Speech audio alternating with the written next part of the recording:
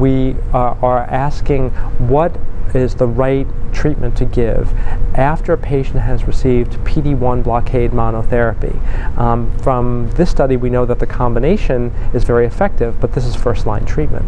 So we're now asking, what do you do at the time of either PD-1 resistance or primary refractoriness? Should you just give ipilimumab, or do you need to give the combination? Because there's a vast difference in the toxicity profile of those two interventions. And so we're asking that question now prospectively. The trial is open. Happy to see patients for that study.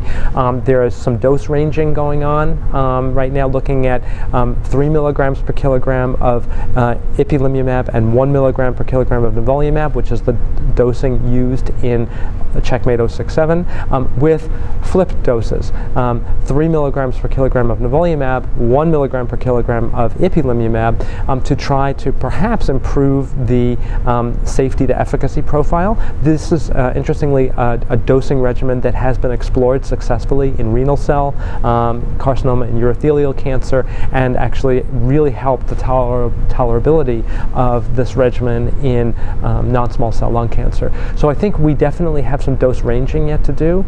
Um, I still am very comfortable uh, offering the combination of ipilimumab and nivolumab along the same dose and schedule that was seen in Checkmate 067 to patients with metastatic melanoma today until we have the results of these studies.